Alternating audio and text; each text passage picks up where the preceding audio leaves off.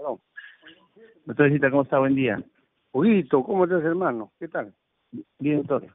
Lo molesto. ¿Qué tal, Huguito? Le- A ver. ya, ya le, ya le envía su, a su casilla electrónica la resolución, ¿ah?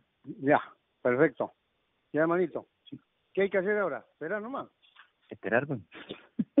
Porque en el Callao así requerían bajo apercibimiento de ejecución forzada, eso le ponían. Ahí de la lista Claro. 27584. Tiene- Seis meses tiene para... Sí, sí, sí, Para ahí le hemos todo. Ah, ya, ya. Ah, ya, entonces. Es que tú ya tienes experiencia, pues, ¿ya? Ya, todo. Oye, te agradezco. Oye, compadre, ese día quedé lesionado. ¿Y sabes Ya. qué me ha dado? ¿Qué? Pubalgia. Pubalgia. O sea, el fútbol. Puta, Uy. que he visto en el Google. Ya. Cacá y unos mundialistas nomás tienen esa enfermedad. Puta Ya. Y ya pues estoy con terapia en la Ya. que es un bueno, ¿no? Ya estoy bien, ya Sí, estoy sí. caminando. Ah, Ese- ya, ya. ese es- dice los abductores, es lo que sufre, y todo ese músculo que soporta todo, que se ha inflamado.